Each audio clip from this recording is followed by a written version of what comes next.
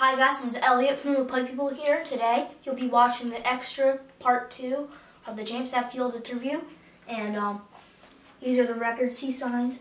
And he also, I also got the limited edition poster at the show. I keep on thinking about that show. It was the best. It was one of the best times of my life, and I can't believe I got to meet James Hetfield. Enjoy.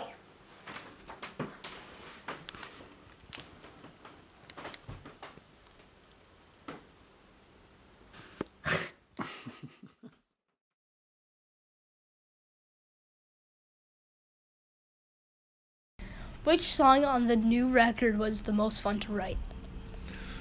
Hmm. I'd have to say Hardwired. I mean, they're all fun to write. Some are harder than others. Some come right out. Some are really easy, and then some you kind of work at, and it's like, I know this can be good, but it's not quite there yet.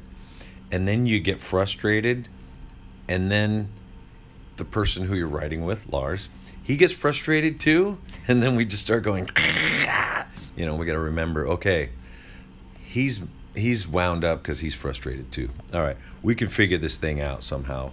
Um, and sometimes if you just leave it for a while, and then we like listening to the stuff in our cars because you're not thinking too much about it. You're just driving around, and all of a sudden, oh wow, that part's not so good. Let's let, we can make that one better.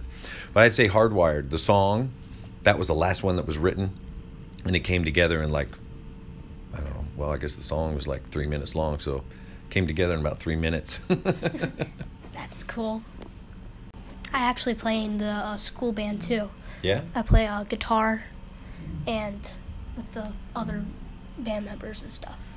So, in school, during school, there's a music Af- class. It's, a- after, school. Ah, it's after okay. school club. All right.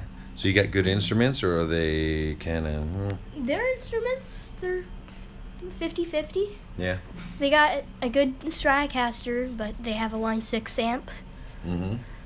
Well, that's good. Uh, well, I, that's I like not cheap. I like on. going, but at home we got I got this beautiful orange amp in my Gibson SG. So oh wow, you're I, spoiled. I'm I'm set. Do you I'm think set you're for spoiled? life. Here and there. awesome. Well, that's good to hear you're playing music and you're doing it at school. I love hearing that.